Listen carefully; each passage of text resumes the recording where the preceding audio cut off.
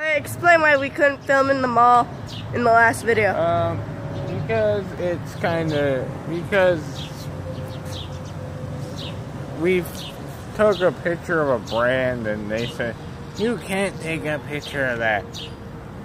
Dude, the brand should be thanking us. We're giving them freaking support, you idiot. Yeah. God damn.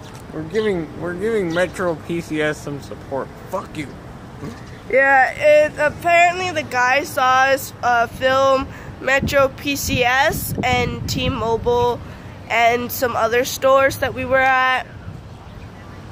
And I did not know we could not film or show which store we were going to. As long as we were just filming each other, it, it would be alright. It would have been alright.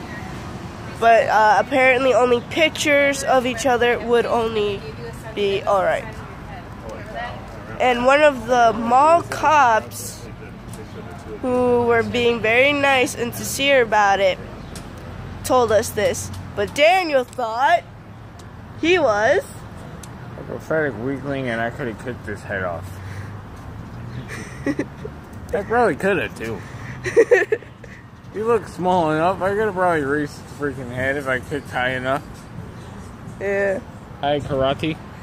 So I have to call my stepdad again, telling him, hey, never mind about picking me up. Uh, I'm gonna see if I could get a ride with my friend, parents. So I'm gonna go do that right now, actually. Bye. Bye.